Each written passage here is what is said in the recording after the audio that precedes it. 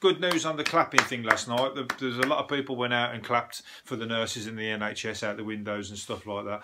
That was pretty cool. Um, and hopefully, uh, you saw some of them were teary-eyed in the photos. What you saw when people were listening to it, so they do appreciate it. And uh, it's you know, brave, brave because that thing is coming out, and, and they're putting themselves in harm's way for other people. So. Uh, you know, another clap from me on this podcast. It's a shame you're not listening to it. Pass it around the NHS.